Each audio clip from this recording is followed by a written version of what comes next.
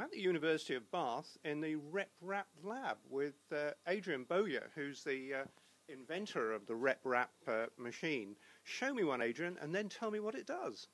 Okay, I will. Uh, it's on my right here. Um, this is the machine. Um, this is an experimental one, which is why it perhaps looks a little bit scruffy. Um, what it does is it takes a plastic filament, which we can see up on our left there. Uh, here it is, and here it is in fact on a reel. Um, it passes it through here along this tube and then down to this device here where it's heated and melted. Um, and it's then uh, pushed out through a very fine nozzle onto this flat bed. Um, and it's then put down in a layer. This extrude head then moves up a little bit and the next layer is put down and because the plastic is molten it welds to the first layer and it keeps doing that until it's built up a complete object. Um, this as I say is an experimental machine uh, and it's also in addition to working with plastic uh, working with, with metals as well. Um, and so we can print both plastic and metal at the same time in this particular one. Most RepRap machines just work with plastic. Turning to the 3D4D challenge, can you tell me how much a machine costs and what benefits it could bring? Yes, indeed. Um, the machine is not very expensive. Uh, it costs two or three hundred pounds to put one together, um, and that's obviously affordable to a single individual in the developed world, but a small community in the developing world would also be able to afford such a machine um, if they've got, for example, a donated computer that they can plug it into, or indeed just plug it into a phone. Um, they can download designs and start printing them.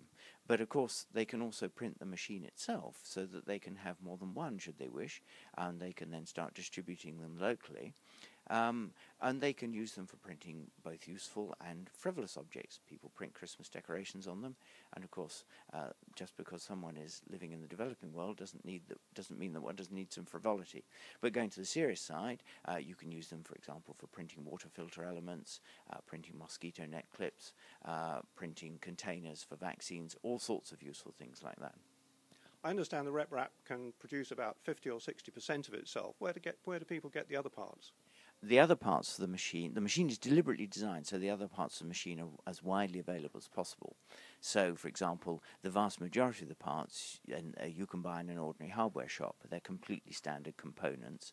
Um, if we can look at the machine behind me, for example, uh, we can see that these threaded rods that form the structure, um, those are used by the building trade to hold bits of building together um, and they're available all over the world.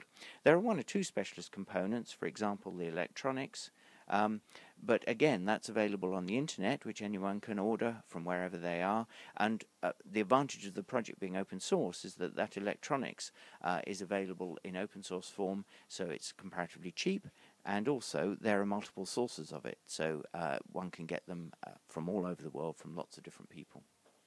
And why did you make it an open source project? Well, if you've got a machine that copies itself and you try to protect the design or copyright it or prevent people from making copies of it, what you're really saying to the world is that you want to spend the rest of your life in court trying to stop people doing the machine the one thing it was designed to do. I've got better things to do with my time. The only alternative was to make it open source. Uh, and also, when it's open source, given that it covers itself, that maximizes the chances of it reproducing. So it increases, in biological terms, it increases its Darwinian fitness.